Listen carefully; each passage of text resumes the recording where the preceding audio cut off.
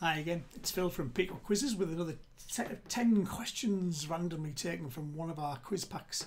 Uh, this is quiz pack 1161, 1161. There's plenty available.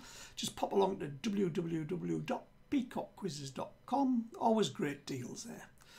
Right, if you are liking these videos, please do hit the like button hit subscribe and hit the bell if you want to be notified of the next 10 questions that I put on because there will be plenty more.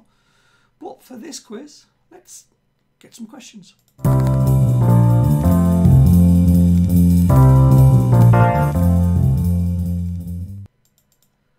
Question number one, one of 10. In radio communications, what word is used for the letter S? So in our radio communications, what word is used for the letter S? Question number two. In what year?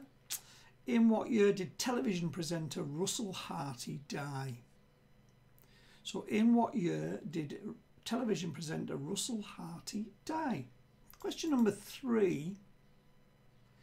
A concert, a concert by which group showed up on earthquake detectors in London in November 1995. So a concert by which group showed up on earthquake detectors in London in November 1995. Question number four. Question four. Which university in Britain has the most students? So which university in Britain has the most students? Question five. Question number five. What term is given to an animal that sleeps by day, sorry, sleeps by night and only comes out during the day? So what term is given to an animal that sleeps by night and comes out during the day? Question six. Question six in mythology in mythology, who was the Roman god of the sun? So in mythology, who was the Roman god of the sun? Question number seven. What was the Christian name? What was the Christian name of Schindler in the movie Schindler's List? So what was the Christian name of Schindler in the movie Schindler's List?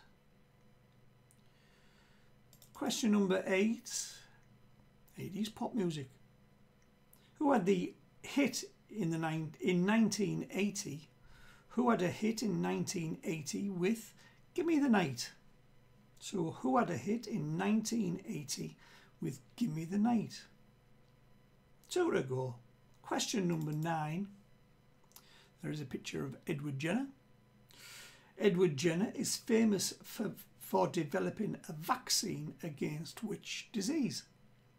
So Edward Jenner is famous for developing a vaccine against which disease? And I will finish this 10 off with this one. Which musical instrument, which musical instrument would you associate with Les Paul? So which musical instrument would you associate with Les Paul?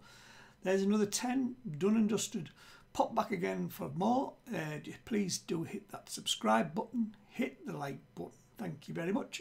See you again.